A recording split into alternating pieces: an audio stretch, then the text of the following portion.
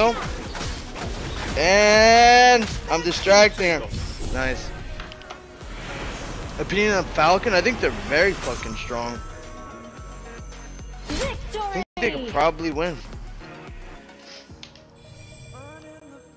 Definitely have a chance of winning MSC. I don't think you guys agree with me on that, right? What about you, Zia? You don't think so? I think they could. I think they could enter the finals even. I think they could be a finalist. Okay. I I I'm gonna agree with that. I think they'll be in the odds are very high that they're in the finals, but there's also a chance they don't win too. But I'd be surprised if they didn't enter the finals. Start. G. Can't believe ONIC. Yeah, ONIC kind of got fucked up. There's Fly Dude. Went full screen.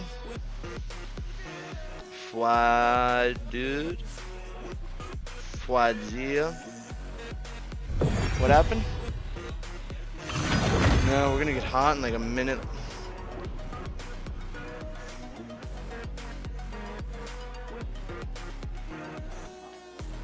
Oh, some role swaps.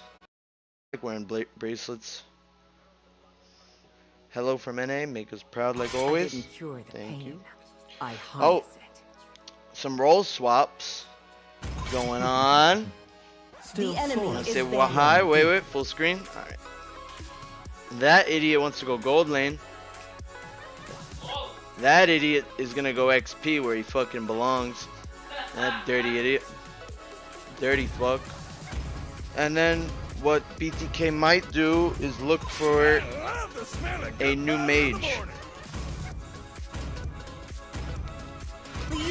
New mage. Hero. So Chicken XP, Zia Gold, because Zia's been practicing gold ever since after M3, which is a, a pretty good long time. I mean, that's like what six, five months, five and a half months, long time. Ben, Julian, yeah, fuck it. I am um, more the enemy is weapon. picking. And then a new mage in NA. And Cardi might be just the sixth man for now, or we'll see. We'll see about it. Might be the sixth man though, or coach, yeah. I think he wanted to stream today actually.